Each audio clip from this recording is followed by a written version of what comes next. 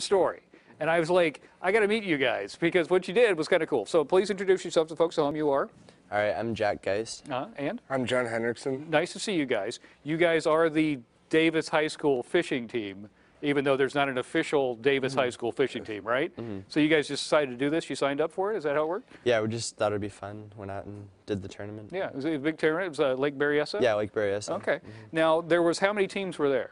There was 19 boats. 19 boats, mm. and these are actual teams from different high schools, Yeah. not two guys. They just Yeah. decided to do it, right? Mm-hmm. Now, the other part of the story that I thought was fascinating was the fact that they had bass boats. Mm-hmm. What were you guys driving? A 16 foot aluminum, 60 horsepower Gregor. So that's like putt, putt, putt, Yeah. putt, putt. Yeah. Going what, 30 miles Yeah, per hour about, tops? yeah. Bass boats can do what, 60? Mm, 60 or 70. 60 or 70. Mm-hmm. And I don't know if people at home have been in the bass tournament, but you guys start all at the same spot and just haul it, right? Mm, yeah. And you guys, how well did you do in the tournament? We did good. Yeah, we um, were one of two boats to only weigh in five fish. Five fish. So yeah.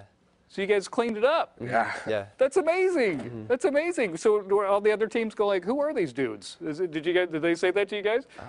I Well, we were brand new to the tournament. They fished, I don't know how many, but most of them have fished tournaments there before, and it was really cool. First tournament that we won. Yeah, I think that was exciting. So what, what did you guys get out of it? Would they get trophies? or Um, what? yeah, we got uh, these rods here Sweet. Very nice. I like that. and these little trophies.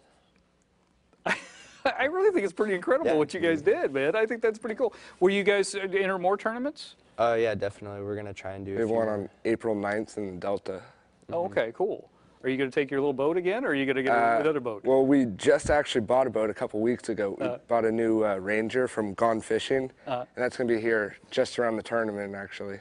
Perfect. Mm-hmm. Perfect. So you get it going. Okay. Well, I, I wanted to challenge you guys to a fishing tournament. This is all I had. All right. This is all I had right here. oh, it doesn't have batteries. I didn't realize it Oh.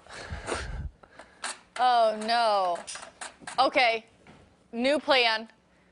I can do fish lips and run around the studio. Well, fellas, thank you very much for coming Yeah, in. I appreciate it. We were going to play a fishing game with you, but I forgot there needed batteries. Great, yeah. Good to do it. Nice Thank to you. meet you. Congratulations. you. Is there any other kids on uh, in, in Davis now thinking about joining a team? Are you guys going to form a team? Um, yeah, we can definitely get some guys together. Nice, nice. I, seriously, I thought that was really Yeah. amazing, especially the fact that you guys were going so much slower than everybody else to get to the spot. Yeah. Cool. Very nice to meet you. Appreciate you. that. All right, Nice back to you, you. Gabe. All right, let's show you some of those